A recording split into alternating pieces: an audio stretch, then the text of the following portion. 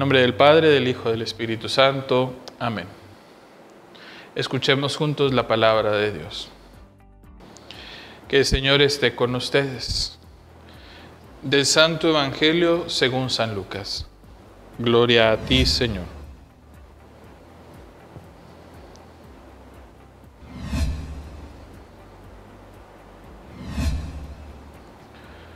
Un sábado, Jesús iba atravesando unos sembrados y sus discípulos arrancaban espigas al pasar. Las restregaban entre las manos y se comían los granos.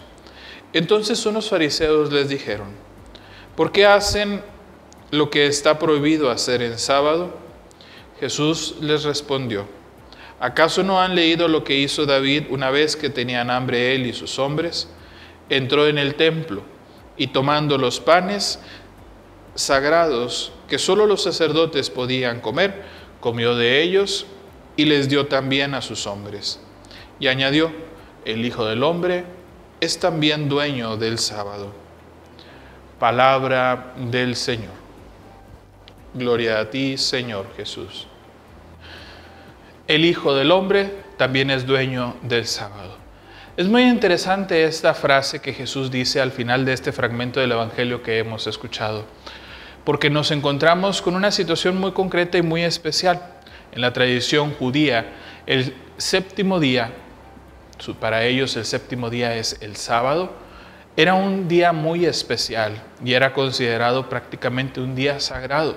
¿Por qué? Porque para ellos es en el séptimo día en el que Dios descansó después de haber hecho toda la creación y dentro de sus normas y costumbres tenían que solamente se podían realizar ciertos trabajos y no se podían realizar trabajos serviles o trabajos que sirvieran para beneficio de otros. Entonces, lo que hicieron los discípulos al arrancar las espigas, jugarlas en sus manos para sacar los granos y comérselos, era considerado un trabajo servil y era violar la ley sagrada. Entonces, en este sentido es que Jesús les pone de ejemplo lo que hizo David y sus hombres, cómo hicieron algo que estaba mal, que era violatorio dentro de la misma tradición también del pueblo de Israel. ¿Y por qué Jesús pone este ejemplo? Por algo muy sencillo. Lo podemos expresar en las siguientes palabras. Toda ley debe estar siempre al servicio de la persona y no sobrepasar el bien de la persona.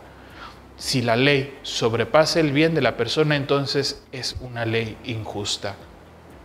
Y por eso Jesús hace esta observación, pone este ejemplo y a final de cuentas les dice que ahí hay alguien que es más que el sábado, el mismo.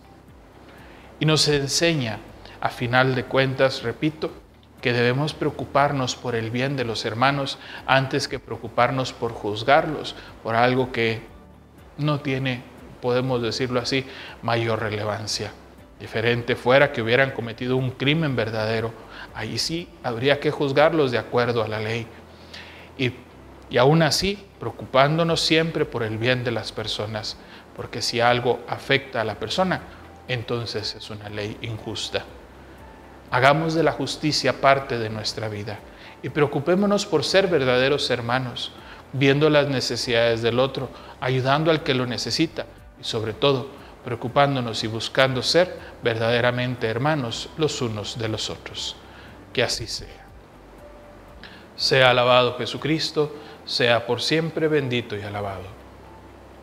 Y la bendición de Dios Todopoderoso Padre, Hijo y Espíritu Santo, descienda sobre todos ustedes y permanezca para siempre. Amén.